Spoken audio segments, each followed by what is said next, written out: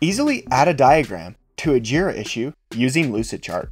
This tutorial will show you how to attach interactive diagrams to bugs, new features, or epics in JIRA. Lucidchart's integration with JIRA allows you to attach interactive diagrams to bugs, improvements, tasks, new features, or epics.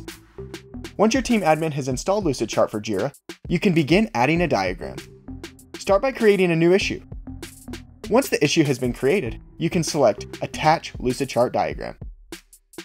From this point, you can navigate to the exact diagram you want to include in the issue and select it.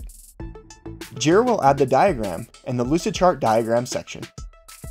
Anyone can now click on this diagram and get a detailed view of the document.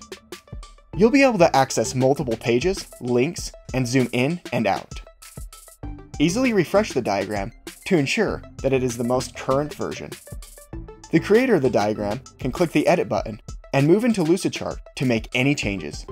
Once you click back to JIRA, the changes will then be reflected. Lucidchart helps you communicate complex ideas visually and then easily add them to JIRA.